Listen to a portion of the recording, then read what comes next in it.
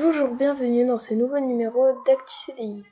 Ce mois-ci, je vais vous présenter deux nouveaux livres disponibles au CDI. Tout d'abord, Magic Lily, le bateau pirate. C'est le numéro 8 de la collection Magic Lily. C'est un mini-roman jeunesse avec beaucoup d'illustrations. La vie de Lily a bien changé depuis qu'un livre de magie est apparu auprès de son lit. Avec ce livre, elle parvient à voyager dans le temps.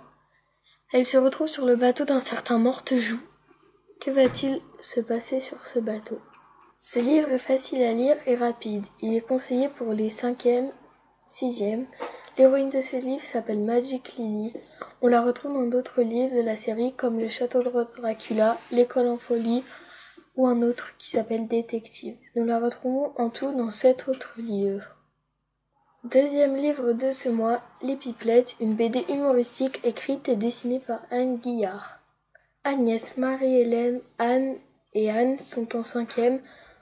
Comme le dit le livre, elles sont comme quatre doigts de la main. Si on les met dans la même classe, elles deviennent vite le cauchemar de leur professeur. Elles ne s'arrêtent jamais de parler et sont prêtes à se battre pour être à la place parfaite pour bavarder. L'auteur est une femme, ce qui change, car d'habitude, ce sont plutôt des hommes qui écrivent les BD de ce style. L'auteur raconte sa vie au collège avec ses vraies copines de l'époque elle a gardé les mêmes noms, c'est pour ça que les noms ne sont pas marrants comme dans Titeuf ou dans Mortel Adèle. Je conseille cette BD à ceux qui aiment les nombrils ou les sisters, mais personnellement je ne lis presque que des romans. Voilà, c'est la fin. N'oubliez pas de vous abonner, liker la vidéo et rendez-vous le mois prochain.